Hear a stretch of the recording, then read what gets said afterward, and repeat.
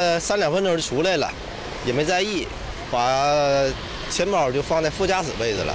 结果着急手，没看到窗户关没关。没成想，齐先生一时大意，埋下了隐患呐。等我回来之后一看，完了，钱包没了，那个副驾驶位置的窗户没关上，包里钱倒不多，几百块钱，然后主要是证件多呀，补证件非常费事。事后，齐先生报了警，民警通过调取附近的监控录像，发现了一名可疑男子。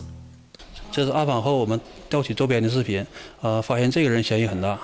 啊，他从这个胡同出来以后，那个奔被害人车去了。嗯，这会儿他那个他在旁边询问了半天，嗯，发现这个被害人的车窗户没有摇上。虽然过往的车辆挡住了摄像头的角度，致使摄像头没能拍到嫌疑男子偷走钱包的动作，但是在齐先生离开的几分钟时间之内，这名男子是唯一靠近车辆的人，并且一直在被盗车辆附近徘徊。他坐在地上观察了一会儿。发现这个车没有人去靠近，他就下来了，走走进这个车，准备去作案。得手之后，这名男子离开了现场。通过对监控录像的仔细研究，民警发现，这名男子的体貌特征看起来格外的眼熟啊。